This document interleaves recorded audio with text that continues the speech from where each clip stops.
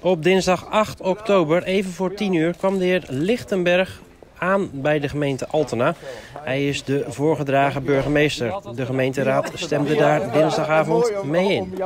Hij werd hartelijk ontvangen met een groot applaus. Hallo, goedenavond.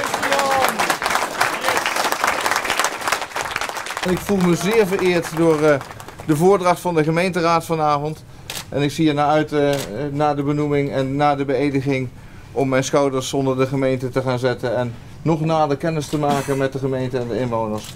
En de gemeente op een andere manier te dienen dan ik tot nu toe mocht doen. En ik zie daar naar uit en met veel zin en veel plezier in. Dank u wel. Volgens mij is de ontvangst hartelijk. Jazeker, ja, ja, het, het, het voelt als een warm bad. En ik, eh, ik voel me ook zeer vereerd met de voordracht die de gemeenteraad heeft gedaan.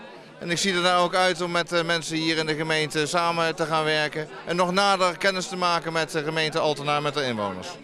Een flinke profielschets uh, heeft er gelegen vanuit nou, de raad en vanuit de inwoners hier uit Altena. En daar bent u als beste uitgekomen. Een hele eer lijkt me. Jazeker, ik zei net al, ik voel me zeer vereerd.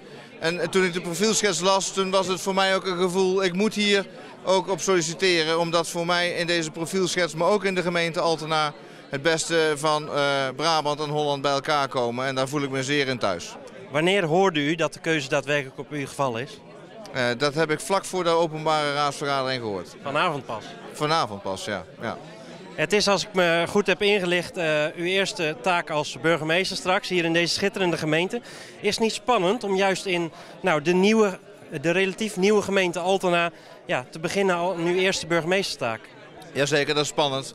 Maar ik ga ervan uit dat ik, ik heb nog tijd om me wat in te lezen en met veel mensen kennis te maken. Dus dat ga ik ook uh, doen en met veel mensen nader op allerlei onderwerpen in wat er allemaal speelt. Ja. Hoe kende u de gemeente Altena al voor deze dagen?